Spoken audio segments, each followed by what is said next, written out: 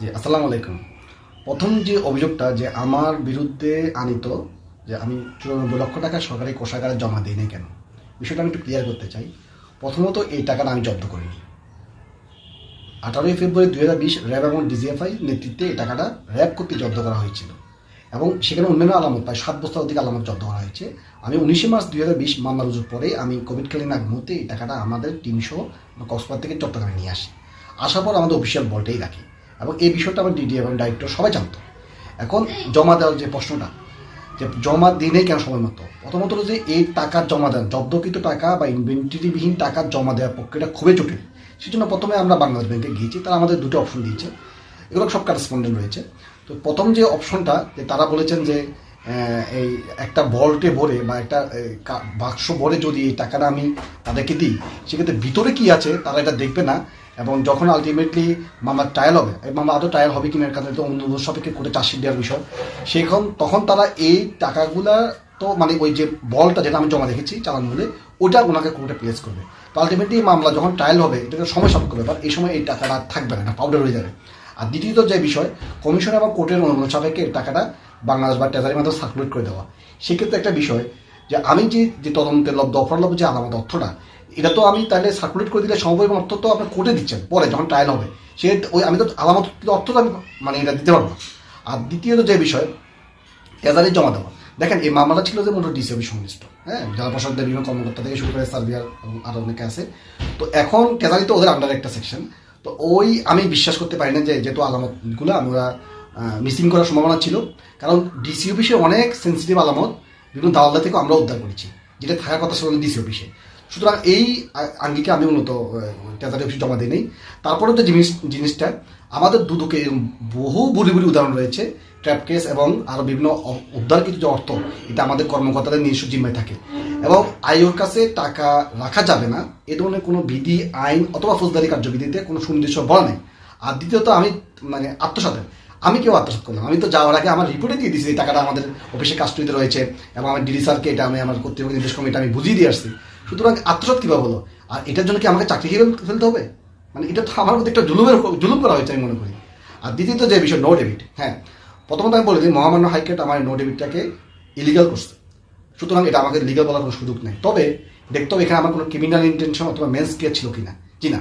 আমি এই টাকাটা জাস্ট ব্যাংকে উদ্ধার জব্দ করার জন্য নো ডেবিট করার জন্য একটা অনুরোধপত্র দিই ব্যাংকে এবং এটা একটা অনুরোধপত্র যে সাময়িক সময়ের জন্য টাকাটা নো ডেবিট থাকে নট ফ্রিজ টাকাটা মানে জাস্ট বলব আমি জুলুমের শিকার। দ্বিতীয়। আর তৃতীয় যে বিষয়টা বলা হয়েছে আমি এক মাস দশ দিন, ওনারা বলছেন দুই মাস দশ দিন কর্মস্থলে যোগদান করি, হিসেবটা আপনি মিলিয়ে নেন। তিরিশ ছয় দুই হাজার একুশ তারিখে আমাকে চট্টগ্রাম থেকে অবমুক্ত হয়েছি।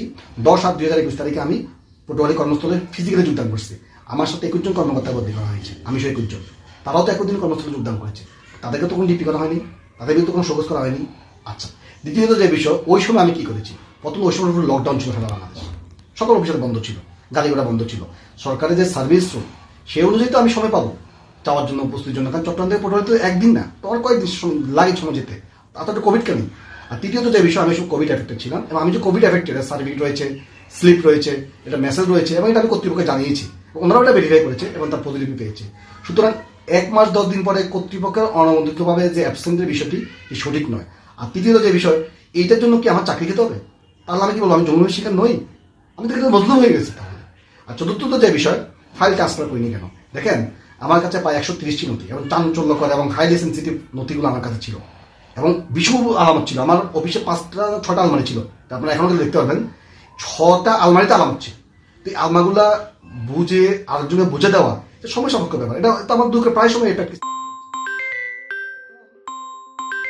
জিনিসটা আসলো যে আমি কেন এই ফাইলটা সম্ভবত বুঝে দিই না দেখেন, আমি যখন তিরিশ তারিখ পর্যন্ত বদলে হয়েছি এই ধরনের ফাইল বুঝে দেওয়ার যে আদেশ এটাকে আমাকে দেওয়া হয়নি, বা আমি পাইনি। এক। আর দ্বিতীয়ত, যখন আমি পটুয়ারিতে চলে গেছি, আমাকে আসতে দেওয়া হয়নি যে ফাইল বুঝে দেওয়ার জন্য। বাইশ আট দুই হাজার একুশে সরাসরি একটা অর্ডার দেওয়া হয়েছে যে আমার বিদ্যুৎ টিভি করা হলো, কেন আমি ফাইল বুঝে দেয়নি আমাকে তো সময় দেওয়া হয়নি। এবং ওই আদেশ মূলে আমাকে টিভি করা হয়েছে, ওই আদেশ মূলে আমাকে ফাইল হস্তান্তর করে বলা হয়েছে। আমি পাঁচ দিনের দিন সকল নথি আমি যারা আছেন, তাদেরকে বুঝিয়ে দিয়ে এসেছি। এবং এটা এটা খুব সমস্যাপক্ষ ব্যাপার ছিল, তাও আমি করে দিচ্ছি আলহামদুলিল্লাহ। তো এইটার জন্য কি আমার চাকরি খেতে হবে? আমি মজলুম। তো মজলুমি শিকার হলাম তাহলে। আর চতুর্থত যে বিষয়, দুদকে ভাবমূর্তি ক্ষুণ্ণ করার বিষয়টা, আসলে দেখেন, আমি চট্টগ্রাম কক্সবাজার যে কর্মকালীন সময় চট্টগ্রাম মেডিকেল কলেজের এই প্রতি মাসে গভর্নমেন্টের কোষাগারে এখন বিপুল টাকা জমা হচ্ছে। কক্সবাজারের যে এই যে যারা এই টাউট শ্রেণি ছিল, ওতে হিউজ পরিমাণ টাকা আমি এই পক্ষে নোটেট করেছি। হ্যাঁ এটা ঠিক, আমার প্রসিডিউরাল মিস্টেক হয়েছে। তবে আমি তো এই টাকাটা সরকারের কাছে রাষ্ট্রীয়তে করেছি এবং রোহিঙ্গা নাইডে পাসপোর্ট নিয়ে আমি কাজ করেছি। যেখানে মানে নিজের নিজের যে রিক্স এবং যিনি এই মামলা, এই অনুসন্ধানের টিম লিডার ছিল, উনি বর্তমান সৌদি আরবের কাউন্সিলর হ্যাঁ তার থেকে আপনি ধরতে পারেন যে কতদিন আমরা টেকনাফ সাবরাং এবং উখিয়াতে আমরা অবস্থান করেছি এবং আমরা জীবন বাঁচিয়ে রেখে কাজ করেছি। হ্যাঁ সেখানে দেশপ্রেম নিয়ে কাজ করেছি। তো সুতরাং এটা সব ডকুমেন্টেড